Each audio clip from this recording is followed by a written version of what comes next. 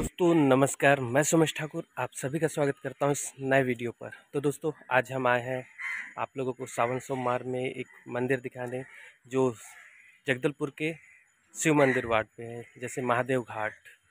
हम लोग आज महादेव घाट में एक शिव मंदिर देखने आए आप लोगों को दर्शन कराने आए तो चलिए दोस्तों